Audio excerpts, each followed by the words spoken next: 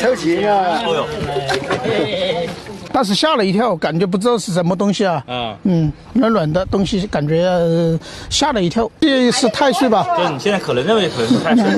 男子从河边挖到六十八斤药王太岁，为了确认到底是不是真的太岁，李先生切下了一块放在开水锅里炖煮。很快，一碗黑色的汤水就呈现在了众人眼前。其中一位大爷还吆喝着：“这可是长生不老汤，大家快来品尝！”村民们十分激动，用手沾了沾，放在嘴里。品尝过的村民眼前一亮，这汤水并没有淤泥的那种臭味，而是黏黏糊糊，没有任何味道。随后，一些妇女还把汤汁涂抹到胳膊上，油的，油油的，再有有一阵点凉的感觉。涂抹过的妇女表示，这种汤汁涂在身上，感觉非常凉爽，而且皮肤变得比以前更亮、更光滑了。一旁的老大哥闻言。随即就抹了一手汤汁，涂抹在自己脸上。哎，洗一下那个皮肤，润润的，白白的，白白的。哎，现在有感觉吗？有感觉，还那个脸上那个皮肤很润滑的。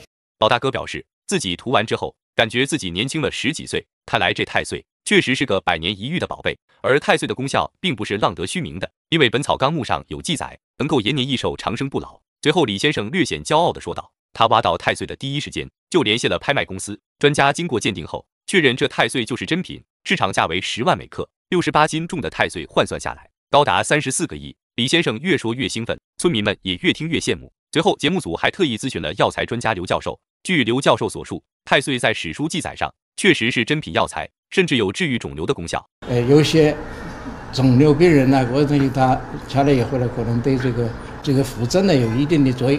不过那只是存在于民间传说，现代的中医药并不会使用，而且捡到太岁的概率实在是太小了，并且从这个太岁的样貌来看，或许并不是真的太岁，太像，嗯嗯，不太像，为什么呢？因为呢，它的胶质好像胶质上比较明显。